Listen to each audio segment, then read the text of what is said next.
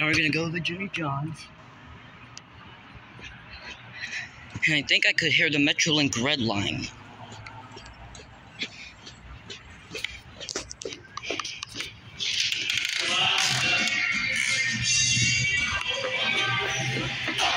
Hopefully not cowards.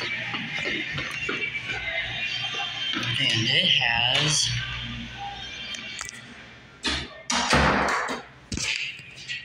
paper cowards. Boo!